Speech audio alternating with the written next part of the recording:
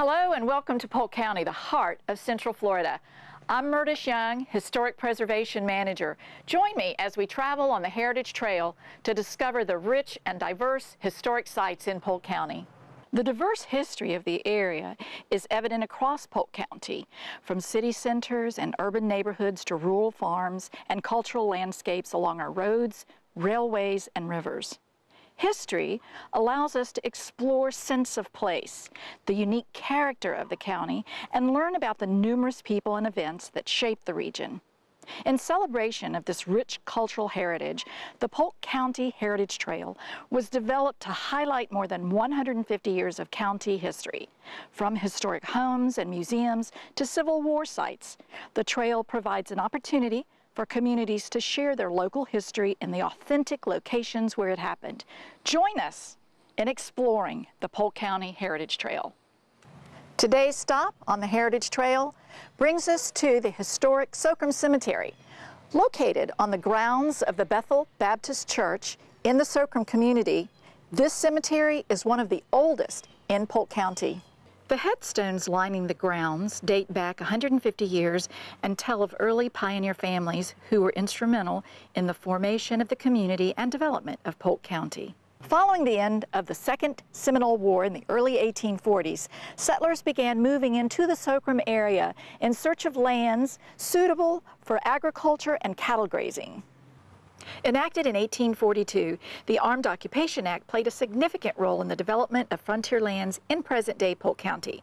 The act gave white settlers over the age of 18 the opportunity to acquire rights to 160 acres of land.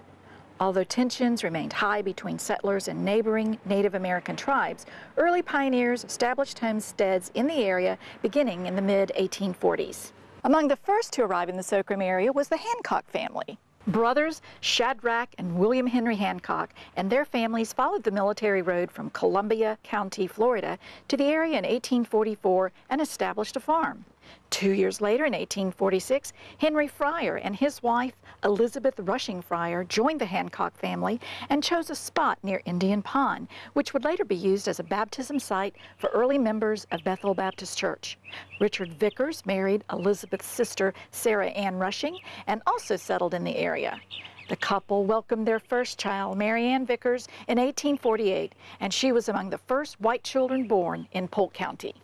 William T. Rushing and Belinda Futch Rushing followed their daughters to Socrum in 1850 and settled lands on the current site of the Bethel Baptist Church. One of the earliest documented religious gatherings in the area was held at William Rushing's homestead in August 1851, helping to lay the foundation for the establishment of Bethel Baptist Church and Socrum Cemetery. Sadly, the oldest marked grave in Socrum Cemetery belongs to William's 18-year-old son, J.T. Rushing, who was buried in 1856. His cause of death is unknown. Names from other prominent pioneer families instrumental in the development of the area are also scattered among the headstones, including members of the Whidden, Lanier, Bryant, Mizell, and Sherrouse families. Socrum Cemetery has documented the community's rich heritage for more than 150 years. These early pioneer families weathered the hardships of frontier life and built a community steeped in history. Their proud legacy continues today with the descendants who still call the area home. The historic Socrum Cemetery is only one of many unique sites you'll discover on the Polk County Heritage Trail. We invite you to hit the road and see all the amazing historical sites that you can find in Polk County.